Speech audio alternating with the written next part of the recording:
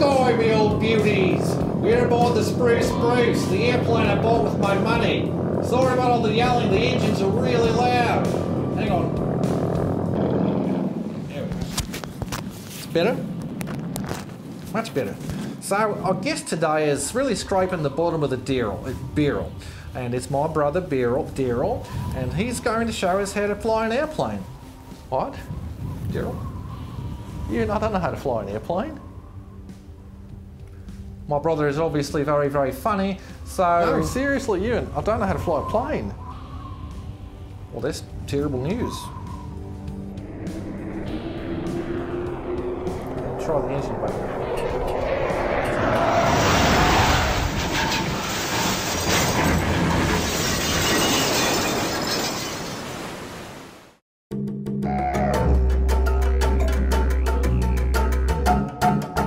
Our guest today is Dipshit, who told me he was a trained pilot. No, I never said that, Ewan. Hundreds of logged flight hours. Total fiction. No. Agree to disagree. When you invited me up, I figured you at least knew how to fly. How did you even get the plane in the air without any flight training?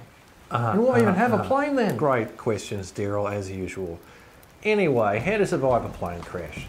The first thing you're going to want to do is build a gigantic fire, you know, just massive, and throw everything you can on it blankets, cushions, Darryl's clothing, the spare radio, whatever, you know, make it huge. What about water, Ewan? No, we don't want to do that.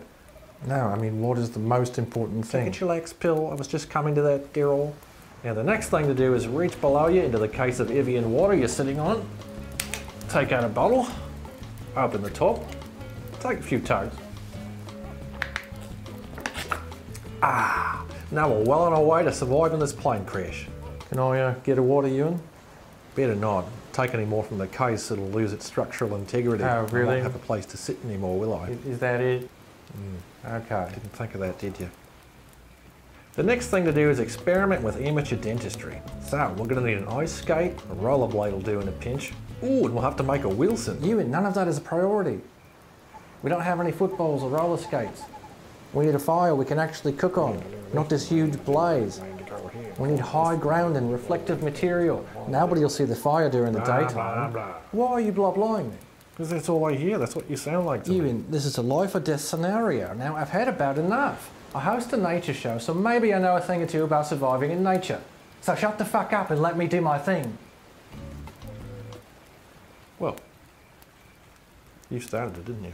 How the hell did I start it? Because you ran off and had a family without even telling me about Well, it. what was I supposed to do? You're a terrible influence. Yeah, but to not even tell me.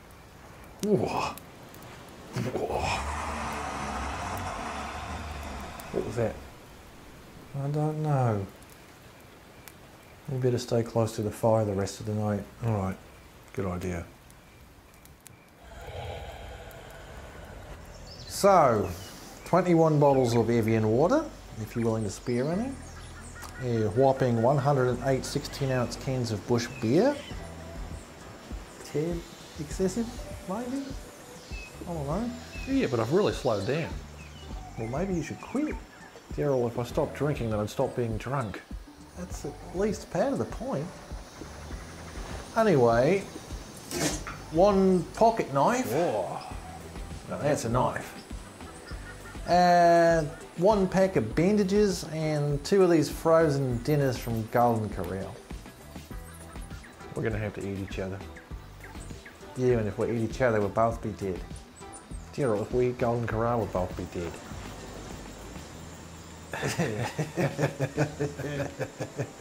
It's so bad. What are they even doing down here? I don't know. Anyway, that's what we got. So, what do we do now, Mr. Nature? We cooperate. Cooperate. That's how I operate. I cooperate. Cooperation's great. Ewan crashed the plane. He could not operate.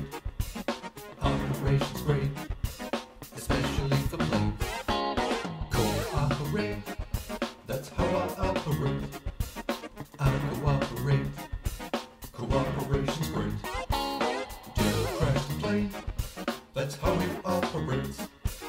Darryl's not so great. He probably has moves. There. Now we've cooperated. We've got food, water, shelter, and a manageable fire. Great work, Ewan. Great. I'm off to the dunny. Oh, t- take your time.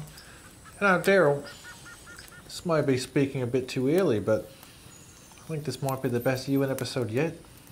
Thanks to you. Anyway.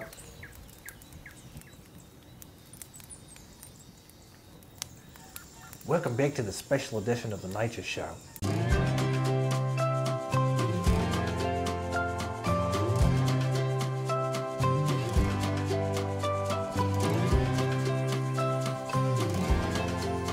It's been nearly 36 hours since I was stranded alone on this island all by myself. There's nothing but my wits to keep me alive. So, of course, it's a great opportunity to explore the natural wildlife wonders of this enchanting place. So, let's start out with some Hey, animals I Darryl, let me borrow your t-shirt. What are you doing? No, no, nothing. Just looking for a signal. Nothing over here. No service. You were doing a bit for the Nature Show, weren't you? No, never. No. Yes, you were. You're still wearing that enchanted nature boy expression on your face. No, I'm not. Look at it. Okay, whatever. I was doing a bit. But you don't have a monopoly on television, you know. You knew I was doing an episode. You know perfectly well I host a show as well. With the cheap hat and everything. You just couldn't stand the idea of me making television history before you. Oh, nonsense, you it's and... not nonsense. It is. I've never cared about fame as much as you. You've already got yours, your perfect family and your perfect life. And you can't stand that I've got What something. What do you know about family? Something that's mine. You left ours a long time ago. Oh, go on. I will. Who looked after Dad? Who looked after the ranch? Who stepped up when this family ever needed When anything? you're done nailing yourself to the cross. I am done, Ewan. I'm done trying with you. I'm done pretending you were ever anything more than a drag on this family. I'm done. Oh shit, it's back. Sounds huge. Ewan, I'm sorry I didn't tell you about Jacob and Amy. I don't blame you, I guess. Here it comes.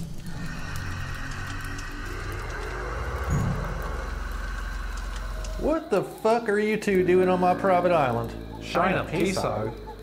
What are you doing here? And why are you playing monster noises on your CD player? This is my island. I won it in the goddamn Utah lottery, and if I want to wander around at night making monster noises on my boombox, well, I'm gonna. This is American Samoa. Now, what are you two doing here? Darryl Ewan crashed the plane. Well, I ought to shoot you up with bullets for wrecking up my island, but I'm nothing if I ain't hospitable. Come on, let's get you two rescued. Well, that was a great Ewan episode, Ewan. Yeah, that was a okay nature show, I suppose. You know, if you're into stupid shit, yeah. I see you haven't changed a bit, brother. I suppose not.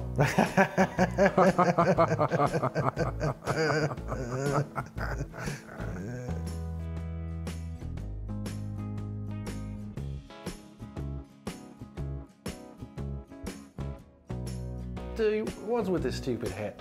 I don't know why you wear a stupid hat, Ewan. Oh, ho, ho. Good one. Oh, no, I mean that cranial abomination you've got on all the time. Oh, the pith helmet. The pith helmet? Pith. Pith, like you're saying piss with a lisp. Pith. Your pith helmet. I've got to take a pith in the pith helmet. Please don't pee in my pith helmet.